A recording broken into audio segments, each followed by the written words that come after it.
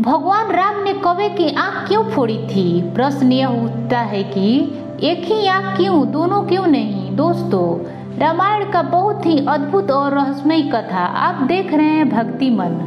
श्री रामचरित्र मानस में तुलसीदास जी ने इस कथा का ज़िक्र विस्तार से किया है। कहा जाता है कि एक बार देवराज इंद्र के पुत्र जयंत ने भगवान श्री राम की परीक्षा लेने की सोची। वास्तव में वो श्री राम के शक्ति को आंकना चाहते थे। इसलिए उन्होंने कौवे का रूप धारण कर माता सीता के पैरों को अपने चोट से घायल कर दिए। जब भगवान श्री राम ने माता सीता के घायल पैर को देखा तो उन्हें बहुत क्रोध आया। सीता जी के पैरों से खून बह रहा था। भगवान राम को भली भांति ज्ञात था कि देवराज इंद्र का पुत्र जयंत है। उसका अहंकार तोड़ने के लिए भगवान श्री राम ने अपने कोदंड नामक धनुष पर एक सरकंडे को चढ़ाकर संधान किया।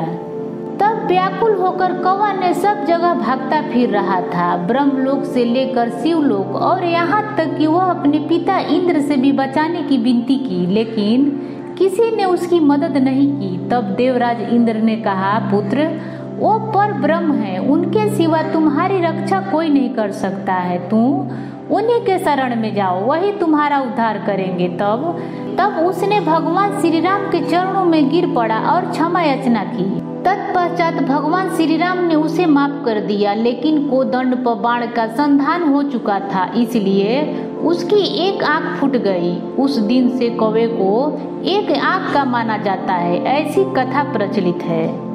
दोस्तों, ये कथा कैसा लगा? कमेंट बॉक्स में बताएँ। और पसंद आए तो लाइक करें। ऐसे ही रोचक वीडियो देखने के लिए जुड़े रहें। धन्यवाद।